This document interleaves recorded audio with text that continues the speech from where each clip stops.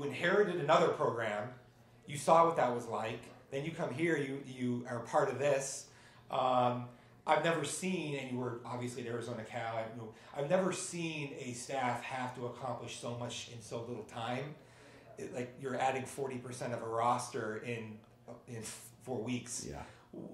What was that like? Well, you know, and I, I don't get all uh, biblical, but you know, I believe, you know, like God puts you in, in places for reasons, and, and you may not understand it at the time, but I went through all that at Idaho State, and we just went through that.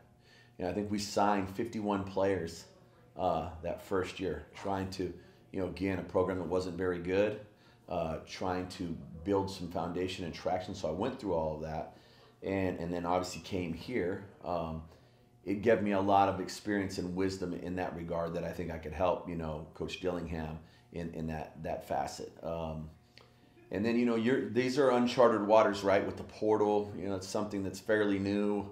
Uh, guys, you know, on on a team that was not very good here at Arizona State, are they going to leave? New coaching staff, change. Nobody likes change, you know, and change makes people uncomfortable and.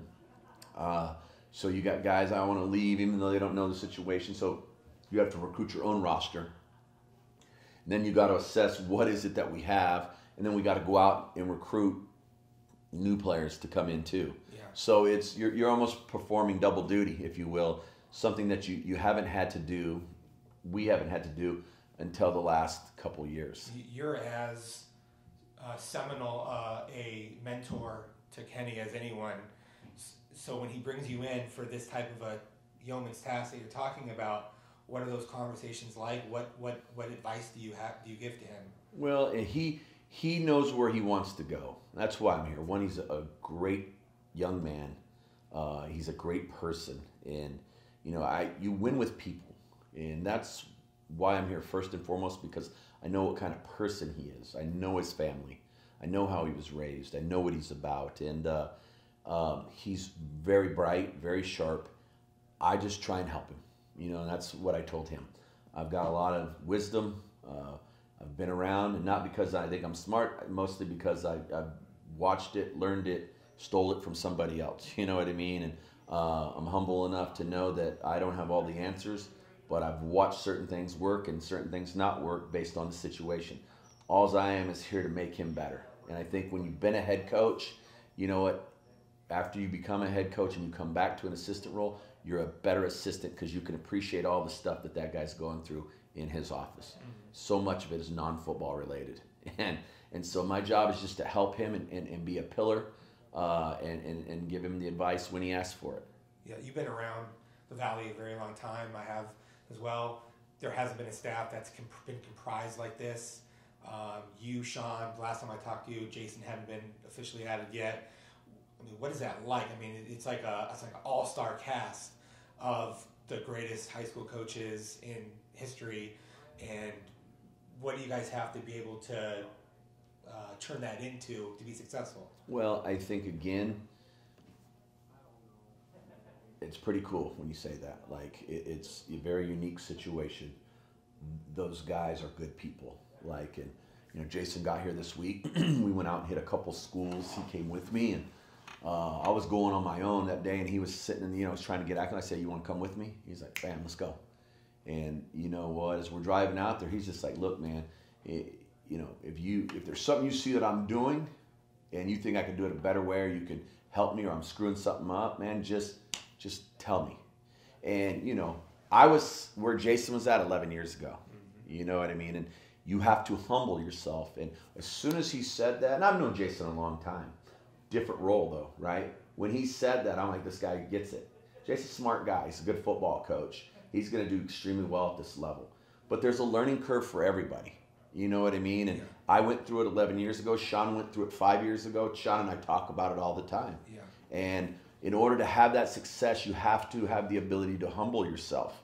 Yeah. And and and now you see what's you know our careers have, have gone on to, and I think Jason is going to have uh, just as good, if not better, uh, you know career and and having us work together. Um, I think there's a chip on her shoulder a little bit. You know, I've been in it now for, for a while, so it's a little bit different. But I, I still like, hey man, this is this is our state. We, we did it here.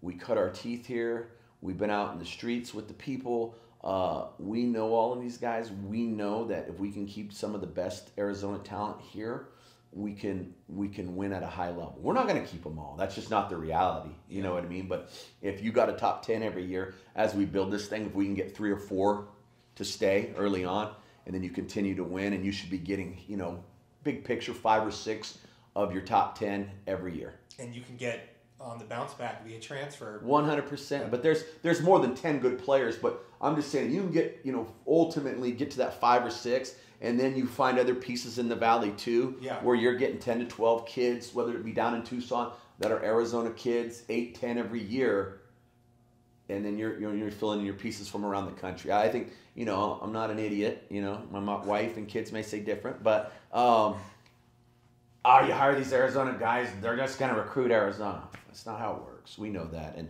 I've recruited a lot of other places and done it at a high level. And, um, you know, and Sean has gone out and recruited other places. You know, Jason's going to go out and he's going to do just fine. And we have a bunch of other guys on the staff that are, you know, we're going to recruit across the country. But I've never seen a top tier program that wasn't didn't have the ability to get their best players in state. And I always talk about it, man. Like you got to build it just like a house, a foundation. You have to build it inside out. And if you're losing the best kids in your state, how the hell are you going to go out and convince somebody else from, you know, Kansas or or Washington to come play at Arizona State? Heck, you guys can't even keep the best players in your own state. Why would I want to come there? Yeah, the the game has changed so much. The college football, you know, and this staff is so young. Uh, you, when you were a GA, I was just starting. Now we're here. We're like the, the older We're veteran old. guys. We're old, man. But you know, but but so what does that do though when you have so much youth and energy in terms of relating to kids, recruiting, etc. means I got to get my sleep at night so I can keep up.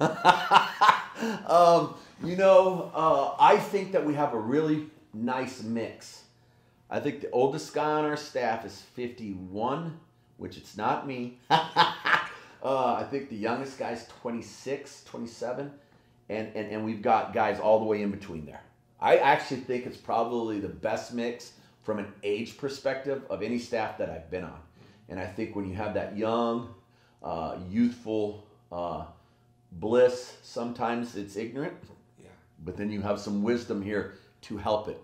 And then you, you guys, we can all the way in the middle bounce things off of each other and then make the best decision possible. I think it's a really good mix, and I think it's going to help us in recruiting. what the the foundation is so important from a culture standpoint, work ethic, not cutting corners. How do you how do you ramp that up? Well, it all comes from from Coach Dillingham. You know, he's the head guy. It starts with him.